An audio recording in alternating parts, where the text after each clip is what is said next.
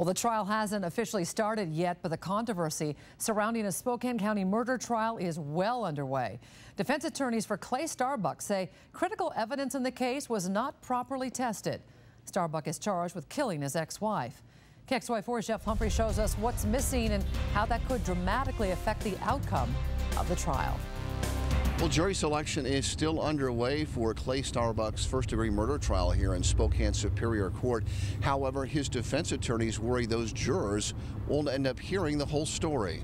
Clay Starbuck's defense team wants his jury to be able to read the sexually charged text messages the victim was receiving the same day she was murdered. Court documents show a man named Tom Walker wanted Shannon Starbuck to send him a picture of her performing a sex act on herself, and that's exactly the same way that the victim's body was discovered.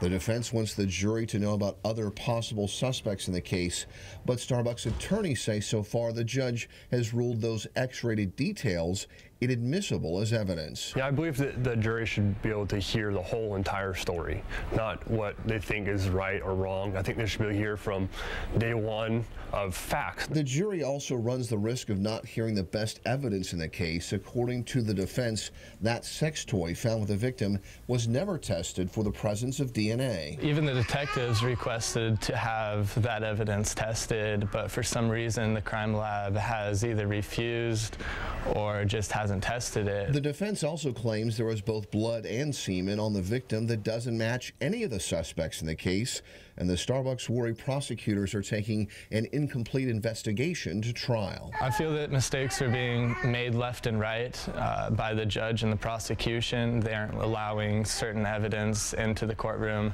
that is critical to my dad's defense. The defense is so worried about the suppression of evidence in this case that it's actually gone and asked a higher court for an emergency review of the judge's rulings. However, that request was denied, and jury selection continues here tomorrow. Reporting at Superior Court, Jeff Humphrey, KXLY 4.